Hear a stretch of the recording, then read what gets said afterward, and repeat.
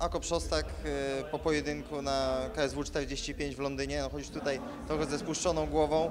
Z twojej perspektywy wyglądało to tak, że twój przeciwnik y, mógł kontynuować pojedynek, czy po prostu no, odpuścił?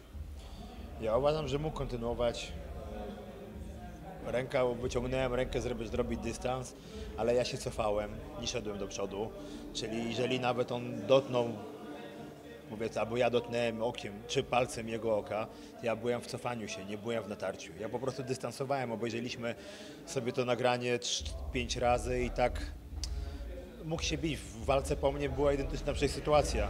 Zawodnicy też, ale oni się chcieli bić, oni chcieli to robić. On po prostu chciał wrócić do domu.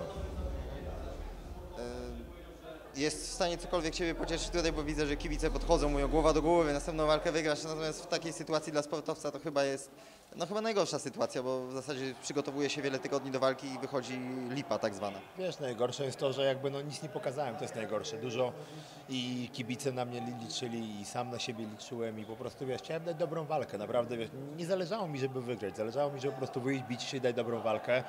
No nic nie pokazałem i to, to mnie boli, no cóż, będę po prostu gdzieś tam czekał na kolejną szansę i po prostu będę się bił, mam nadzieję, że no, tylko że no, liczę, że po prostu będzie inny rywal, bo ten ewidentnie nie chce się bić. W zasadzie on chyba sobie zamknął drogę do kolejnych walk KSW, no bo widzieliśmy, James McSweeney też dostał e, palce w oko i, i kontynuował. Bo to jest facet, który ma jaja. To jest prawdziwy wojownik. A ten, no niestety, no jak widać. No, no ciężko mi to skomentować, mogę tylko przeprosić tych kibiców, którzy na mnie liczyli i obiecuję, że następnym razem będzie inaczej. Ty jako zawodnik, no ciągle można powiedzieć początkujący w MMA, to właśnie chyba o to chodziło.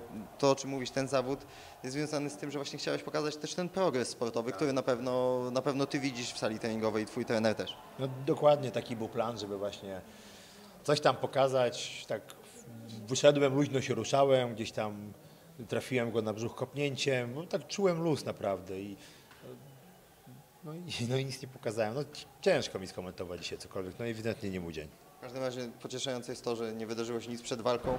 E, Weszliście do klatki, także chociaż ten plan, o którym e, mówiłeś przed walką, że po prostu przekazujesz gazę, że na Tak, potrzebujące tak, dzieci, tak, to ten warunek zostanie spełniony, bo federacja przecież zapłaci te pieniądze i przeciwnikowi. Oczywiście, jakby no, to, tak by to jakby zostaje bezmienne i cieszę się, choć taki pożytek jest z mojego pobytu tutaj.